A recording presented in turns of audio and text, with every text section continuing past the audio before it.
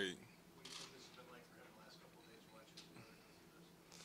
Honestly, I just I just want him to just just learn from me and just do better than me. Honestly, my um my dad and my my dad did it for my uncle. My uncle did it for me. My dad and my uncle did it for me. You know, just learn from their mistakes, and you know, I was able to, you know, just take that and run with it. Honestly, and I just want him to do the same with me. You told us about that family connection last night. Have you been able to process now that you've been drafted, you're going to take the next steps a bit more about what that means to you?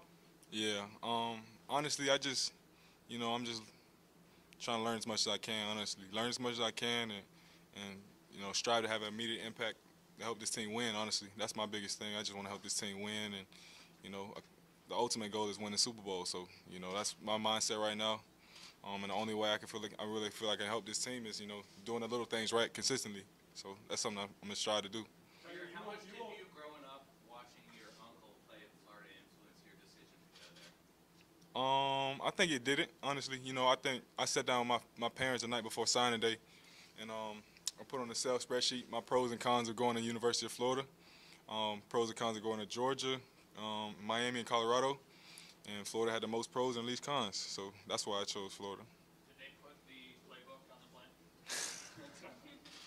I knew I was gonna get asked that question, but um, they didn't. Honestly, they told me um, you know, I'll have plenty of opportunity to learn and things like that. But I think I got it today, though. I'm, I'm, I got it. I got it today, though. So that's all that really mattered, though. So now I can, you know, strive to learn as much as I can, so I can play fast and make plays and get the ball turned over for the offense to go score. So. Why did you choose reflect back to your choice of college. Uh, It sounds like you, you took a very methodical approach to it. What, what did you think you benefited from, from, from that approach, and what have you benefited from being, I mean, can, can you talk about what you benefited from playing in Florida these past few years? Um, I think the benefit of doing it the way I did it was, you know, just making sure I made the right decision with as most time as possible to, to get as much, you know, information and as much knowledge um, from teams, I mean, from schools uh, as possible. Um, and, you know, I, I, I think and I believe it benefited me a lot, honestly. And then, what was the second question? Just playing at Florida, and, and just what, what you got out of that experience, especially in the SEC, where Brandon Beane talked about you being very comfortable with going up against some of these receivers that have passed or this past season. Just the benefits of, of, of playing in the SEC and going up against these. Um, I think there's no argument that SEC is the best conference in college football. Um, so you know, being able to compete at a high level, um, win key matchups and things like that, you know, I think it will help a lot transition into the NFL. Um, but everything is about what's earned here. You know, it's all about results at the end of the day, no matter what the situation is. So, you know, I just something I just I'm just striving to just get better each and every day and just you know striving to learn as much as I can to help you know implement my game and you know help um, help amplify the, the players around me as well and learn as much as I can from them too. So Mayor, I think what Brandon Beane said last night specifically was, because of where you played and and against whom you played, NFL caliber talent. Right. Players that are now in the NFL.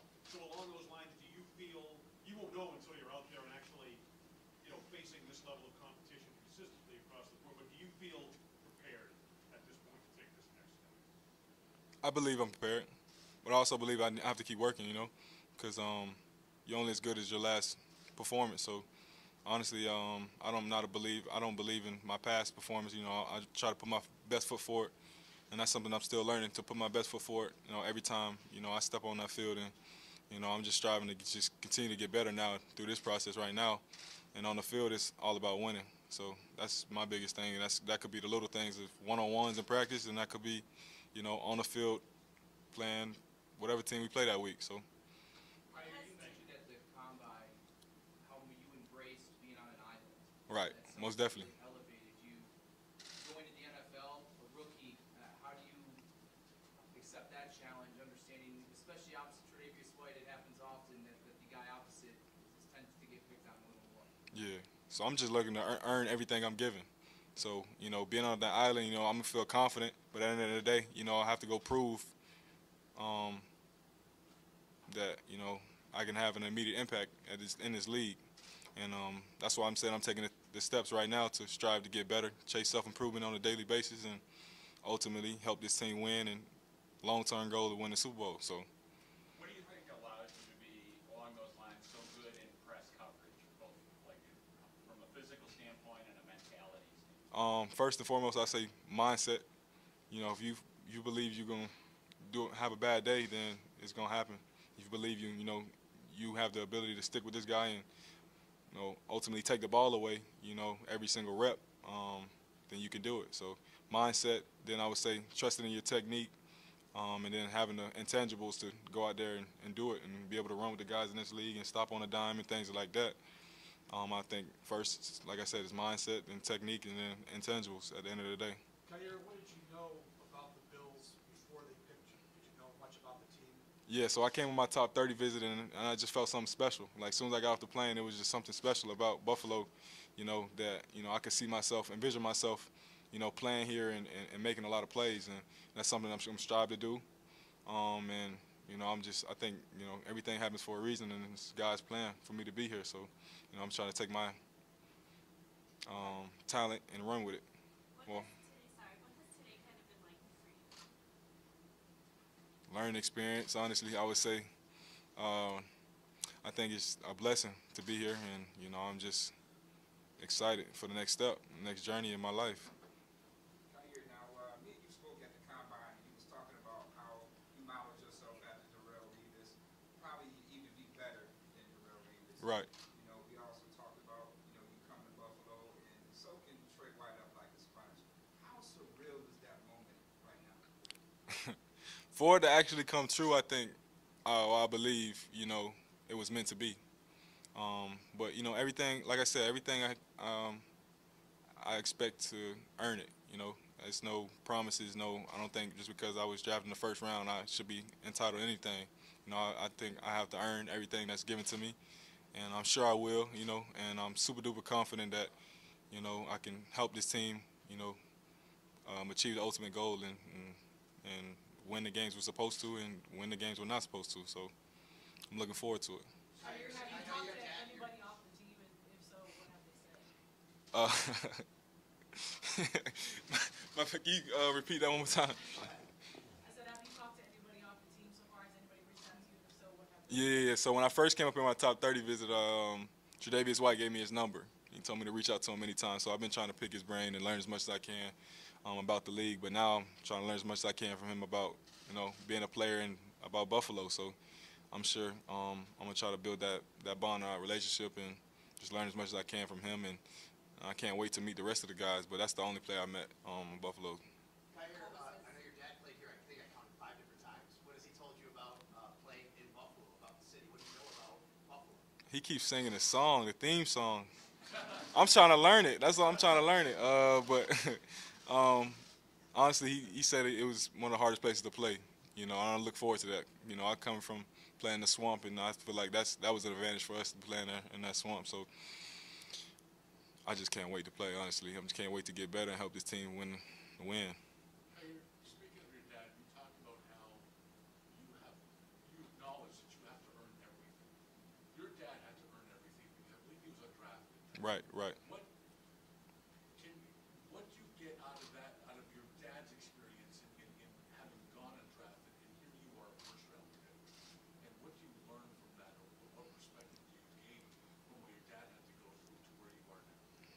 Um, you know, I, my my dad and my uncle are really essential in my life. You know, big part of the reason why I'm sitting right here in front of you today. You know, um, being able to learn from their mistakes and learning things they didn't know, they didn't know at my age. Um, just I think helped me in this process so much and, and throughout life and becoming a man.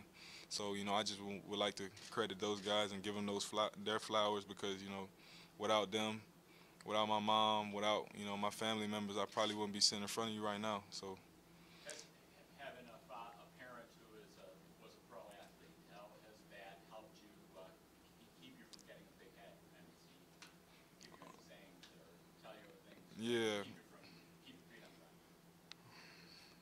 you just gotta honestly, you just gotta chase self improvement at a, on a daily basis because you know what God gives, He can take away. So um, that's something I, I always try to say to myself when I get what I want or when I don't get what I want. So, you know, you can't get too high on your highs, too low on your lows. You just gotta stay mellow-headed. You know, get excited. There's nothing wrong with getting excited, but you can't, you know, you can't take a day off. You can't stop chasing self-improvement because when you do, you know, you can find yourself getting replaced or even something happen to you. But you know, I'm just at, right now. I'm just striving to get better, learn as much as I can. Um, hey, I know your dad played at Notre Dame, he played at Kent State. It seemed like you already had the hats already when your name was called. Little bro got the spelling on right now. Yeah, yeah.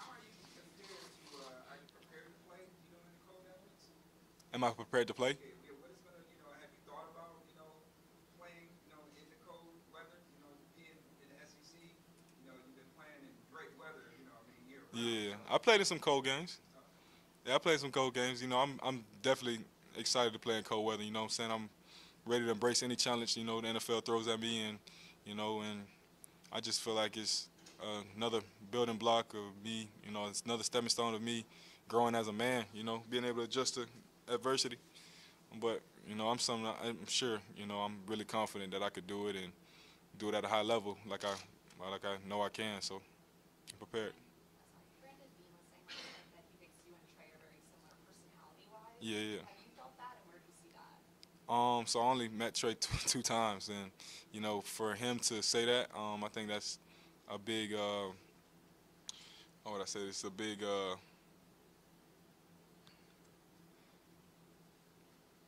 uh, big. I don't know. I, I, I uh, how would I say it? He, I mean, I would say that it's a big, less like. Uh, damn, uh, I'd be like, I, I would just say, you know, I appreciate him saying that, but you know, it's it's still a lot that I would like to show, improve, and um, you know, I think that's a big comp. I mean, I'm stuck on this question right here. Sorry about that. Sorry about that. I don't, I don't know what to say. No comment at this point. Can you sort of walk us through what, what your night was like last night? I mean, a huge party, lots of friends and family. Right. Having to wait until, you know, pretty late in the evening to hear your name called, and then did you get any sleep before you got on the plane this morning? I did. I slept like a baby.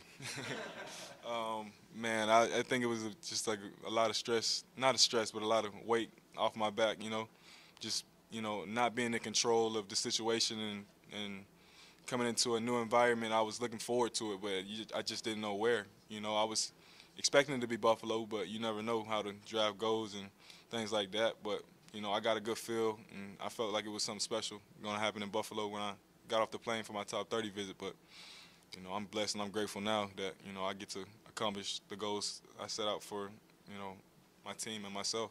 Follow-up says he, what are your plans for your 21st birthday next week? Another party? Mm, I don't know yet. You know, I, I really don't know. I'm just trying to look forward to tomorrow. You know, but uh, I'll let you know when I when I find out. Aaron, how- what would your self-scouting report be regarding you as press coverage, which we already heard, versus off? Yeah. Still, no matter what, I still want to get better at both. You know, um, I feel comfortable pressing, and and my back pedal, I think, uh, I think I'm pretty good at that as well. But you know, I think I, I can always improve. You know, the little things and my fundamentals each and every day because like once you don't work it, you know, you lose it. So, um, I'm comfortable. I'm comfortable at both. You know, but at Florida, I was required to play a lot of press man.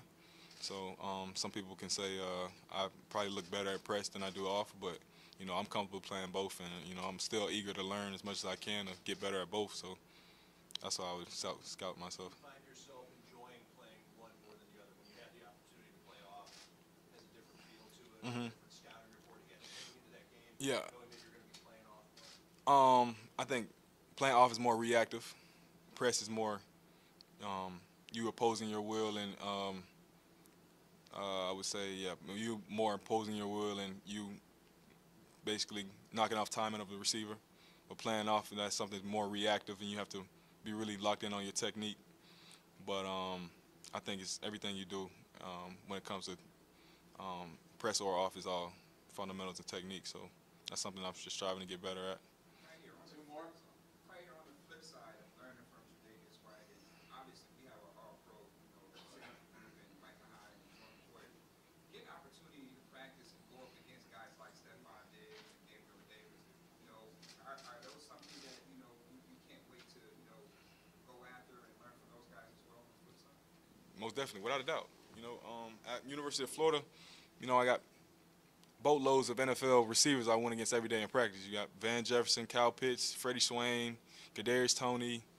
Um, the list goes on. You know, a lot of good like receivers and tight ends. So um, I think, you know, going against, you know, Diggs and um, everybody else in the receiver core and the tight end core, you know, um, it's something I look forward to. You know what I'm saying? Pushing those guys, and I'm sure they'll push me back. You know, I think I don't. I don't think it's gonna be a cakewalk, and I don't think it's gonna be too hard either. You know what I'm saying? Uh, I'm confident in myself um, and my abilities, and you know I can't wait for practice because you know I think I'm an ultimate competitor, and I'm sure those guys are too. So I look forward to it.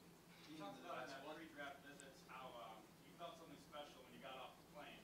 What was that like today when you got off the plane? Kind of a full circle moment there. felt relieved. I felt at home. Um, you know, when you like, you get home and you just falling in bed before taking all your clothes off and showering. Like, I just felt so relieved and so at home and so at peace. Um, like I said, I had no control over the draft. You know what I'm saying? I just had to go out there and compete at the combine and pro day and, you know, put your best foot forward. But at the end of the day, you don't know. You can't, you're not picking yourself. You know, so you're out of control. It's not college anymore where you're, where teams are recruiting you to go to their school. Like, you're basically trying to promote yourself. So, um, you know, I felt relieved when I got off the plane. I felt at home, you know, and I, I really believe that it's something special is going to happen here.